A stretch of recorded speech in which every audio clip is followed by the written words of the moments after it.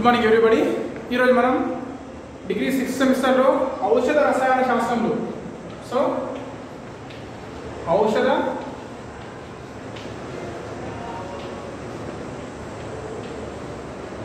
ఔషధ రసాయన శాస్త్రంలో మనకు మెయిన్ ఉండేది ఏంటంటే చూడమ్మా ఏడిఎంఈ గురించి రాయమని ఇస్తారు ఖచ్చితంగా ఏడిఎంఈ సో ఈ ఏడిఎంఏ ఫార్మకోనైటిక్స్ ఔషధము ప్రయాణించే మార్గం అని చెప్పి రాస్తుంటాం సో ఫార్మకోనెటిక్స్ అనగానేమి లేదా ఏడిఎంఈ గురించి క్లుప్తంగా వివరించండి అని చెప్పేసి అడగడానికి ఛాన్సెస్ ఉన్న క్వశ్చన్.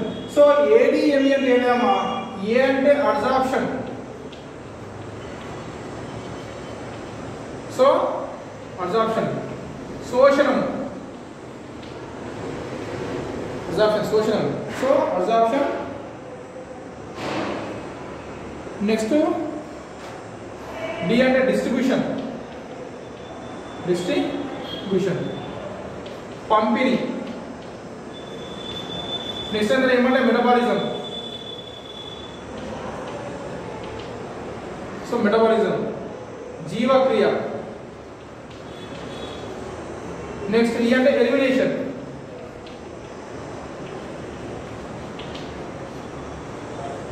విసర్జన విసర్జనం లేదా విసర్జన తీసివేయడం సో మనకి ఏదైనా కానీ ఏడిఎంఈ గురించి క్లుప్తంగా రాయమన్నప్పుడు ఆప్షన్ సో ఔషధాన్ని తీసుకునే క్రమం లేదా ఫార్మకోనైటిక్స్ యొక్క ఫార్మకోనైటిక్స్ గురించి వివరించండి అని చెప్పిస్తారు సో ఫార్మకోనైటిక్స్ అన్న ఏడిఎం అన్న ఔషధము ప్రయాణించే మార్గాన్ని వివరించడం అని చెప్పేసిన ఆన్సర్ ఉదయమ్మా చూడండి అబ్జార్ప్షన్ శోషణం మనం మామూలుగా ఏదైనా ఔషధాన్ని తీసుకున్నప్పుడు సో ఔషధం శోషణం ఏ విధంగా అవుతుందనేది డిపెండ్ అయ్యండి. సో మనం ఔషధం అనేది మన నోటి ద్వారా కానీ ఇంకేదో రూపంలో తీసుకున్నప్పుడు రక్తంలో కలుస్తుంది. సో మామూలుగా ఎలా అంటే చూడమ్మా ఇది రెండు రకాలైనటువంటి అంటే మన మామూలుగా ఇప్పుడు ఔషధం నోటి ద్వారా తీసుకున్నాం ఆ ఔషధం ఏం చేయాలి? నోటి ద్వారా తీసుకున్నప్పుడు ఔషధం ఒకవేళ ఆమ్ల స్వభావం కనుక ఉందనుకో అదేంటి జీర్ణ పెద్ద ప్రయోగం అంటే జీర్ణాశయంలోనే అది మనకు కలిసిపోయి ఎక్కడ జరుగుతుంది. నెక్స్ట్ కనుక అది క్షార స్వభావం కనుక ఉంటే ఏమైందమ్మా? క్షార స్వభావం గల ఔషధం ఏం చేస్తుంది? చిన్న ప్రేగులలో శోషణ అనేది జరుగుతుంది. సో అంటే క్షారకణం ఉందేమో చిన్న ప్రేగులలోని శోషణాలికల ద్వారా శోషణ జరుగుతుంది. ఒకవేళ ఆమ్ల స్వభావం కనుక ఉంటే పుట్టలోని జీర్ణాశయంలో శోషణం అనేది జరుగుతుంది. ఇప్పుడు కనుక మనం గమనించినప్పుడు ఈ శోషణం జరిగే క్రమంలో మనకు మనం ఏదైనా తిన్న తిండి పేగి పడతలేదు ఫుడ్ పడతలేదు అని చెప్తే చూడండి. దాని రీజన్ ఏంటంటే మనలో ఉన్న శోషణాలికలు. ఆ శోషణ ఏంటంటే చూడమ్మా మన తిన్న ఫుడ్లో నుంచి గ్లూకోజ్ కానీ మినరల్స్ కానీ ఇంకేమైనా ప్రోటీన్స్ కానీ ఇవన్నీ ఏం చేస్తాయి?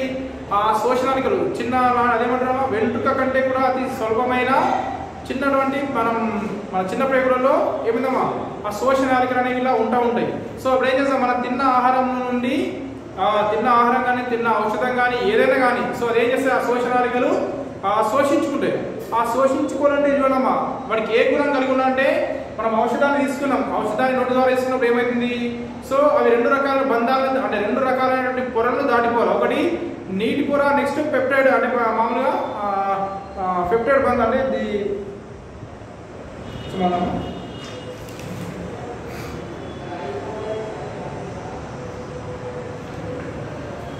సో ఇవి రెండు రకాలైన పొరలు దాటిపోవాలి. ఒకటి నీటి పొర నెక్స్ట్ లిపిడ్ పొర. సో ఈ రెండు పొరలను దాటిపోతేనే ఔషధం కానీ మినరల్స్ కానీ ప్రోటీన్స్ కానీ మన రక్తంలో కలవడానికి ఆస్కారం ఉంటుంది. సో ఈ లిక్విడ్ పొరను కానీ లేదా నెక్స్ట్ ఈ నీటి పొర ద్రవ పొరను కనుక దాటిపోవడమే ఆ ఔషధం కానీ మన తిన్న తిండి కానీ ఏం చేస్తుంది? శోషించుకొని రక్తంలో కలుస్తుంది. సో శోషణం అనే అబ్జార్ప్షన్ అనేది ఏ విధంగా ఉంటుందంటే సో చూడండి ఆ ఔషధాన్ని ఎక్కువ మొత్తంలో మనం దేని ద్వారా తీసుకుంటాం అంటే నోటి ద్వారా తీసుకుంటాం. ఏది- టాబ్లెట్స్ రూపంలో.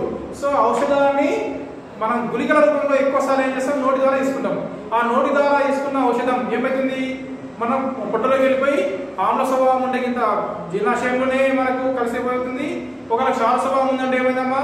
చిన్న ప్రయోగంలో శోషనాయకం ద్వారా అది రక్తంలో కలిపిబడుతుంది ఆ కలిపివేయే క్రమంలోనే రెండు పొరలు దాటుకొని ఏం చేయాలి? ఔషధం అనేది రక్తంలో కలాల. ఆ రెండు పొరలు ఏవి లిపిడ్ పొర ఒకటి జల ద్రావణ పొర అనేది ఒకటి ఉంటుంది. సో ఆ రెండు పొరలను దాటుకొని ఏం చేయాలి? ఔషధం అనేది లోపలి చొచ్చుకొని వచ్చి మనం బ్లడ్లో కలుసుకోవాలి సో బ్లడ్లో కలిసిన ఏమైందమ్మా?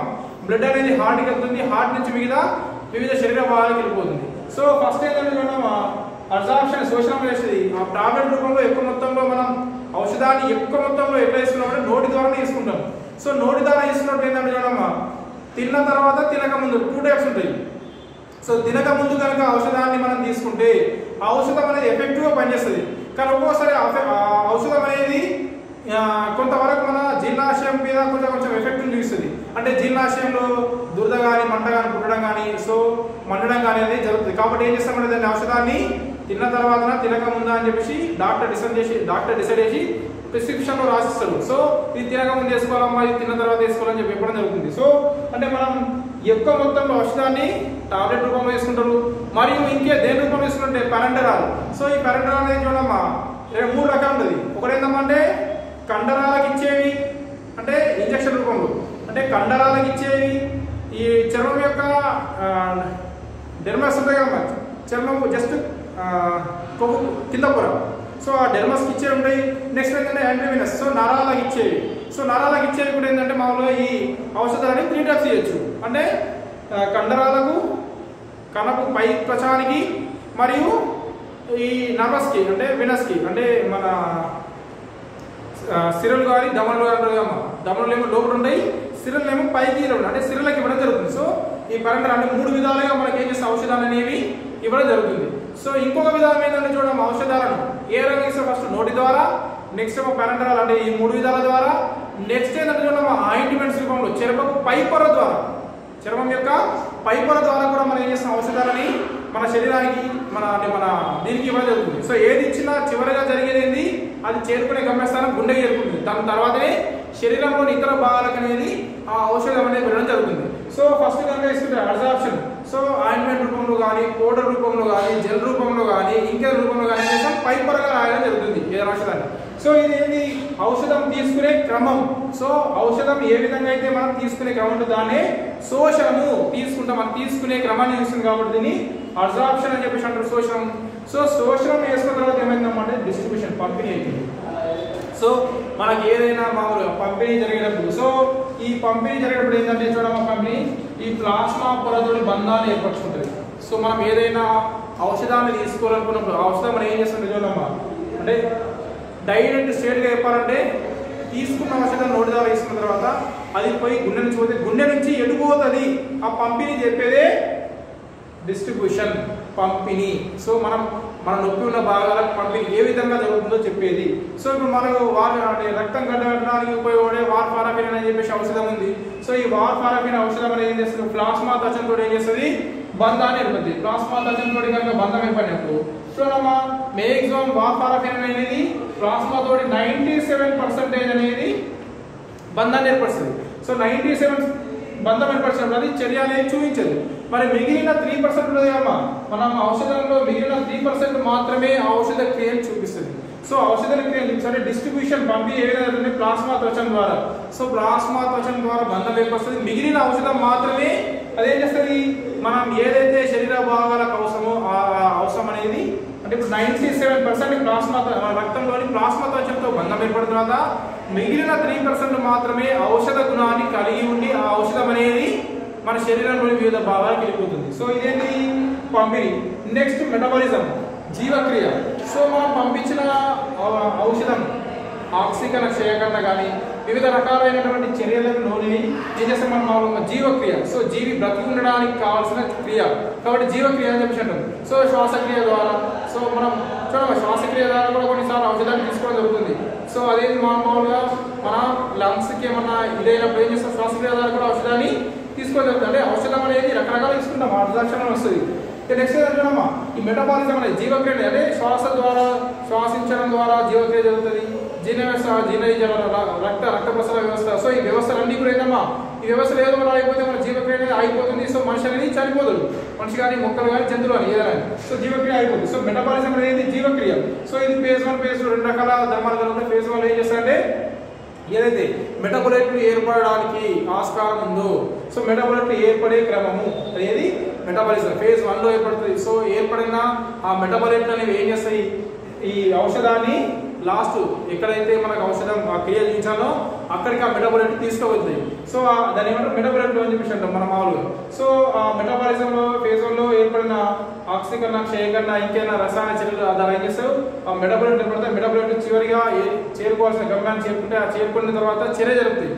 సో ఆ జీవక్రియ జరపదాన్ని ఫేజ్ టూ అంటాం. సో దాని ఏమంటే మెటబాలిజం జీవక్రియ అంటాం. సో ఏదైనా ఔషధాన్ని మనం ఒకవేళ నోటి ద్వారా వేసుకున్నా అది మూత్రపిండలోకి వెళ్ళి ఏం చేస్తాం మనం? యూరిన్ ద్వారా బయటకు వెళ్ళిపోతుంది.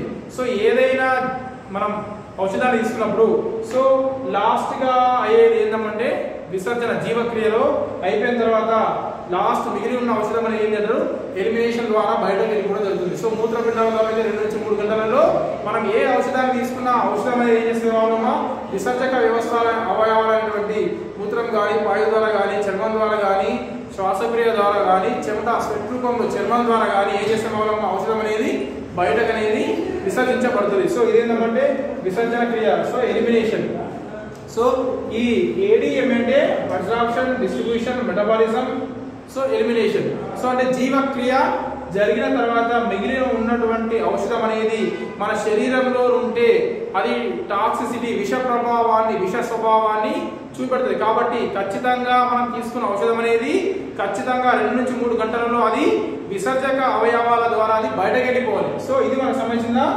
ఏడిఎంఈ సో దీన్ని ఫార్మకోనెటిక్స్ అని చెప్పేసి అంటారు. సో ఆ ఔషధము ప్రయాణించే మార్గం ఏ విధంగా ఉంటుంది? శోషణము పంపిణీ అది జీవక్రియ దాని తర్వాత విసర్జనము.